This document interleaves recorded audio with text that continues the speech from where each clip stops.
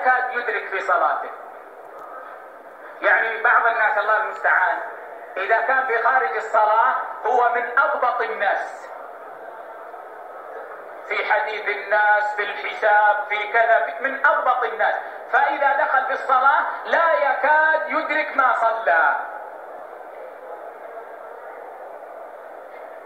وهذا لغلبة الدنيا على القلوب والعياذ بالله.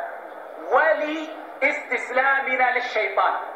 يا إخوة نحن في الصلاة في حرب مع الشيطان.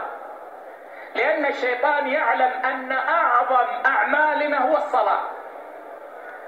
فإذا لم يستطع أن يصرفنا عن الصلاة ابتداء حرص على أن يأخذ من صلاتنا ما استطاع. ولذلك ينبغي أن نستذكر هذا دائما. فإذا قلنا الله أكبر في أول الصلاة فلنستشعر هذا. الله أكبر.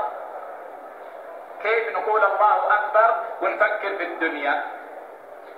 نفكر في السيارة والزوجة والأهل والناس والحروب و...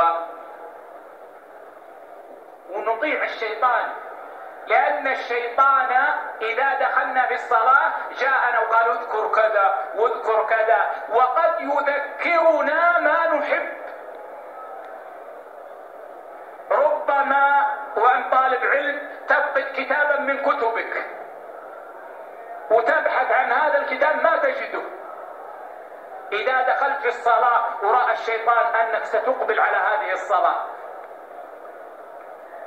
عندك إقبال عندك خشوع قال تذكر أنك وضعت الكتاب في مكان كذا. حتى يشغلك عن الصلاة متى تنتهي حتى تنظر في ذاك المكان؟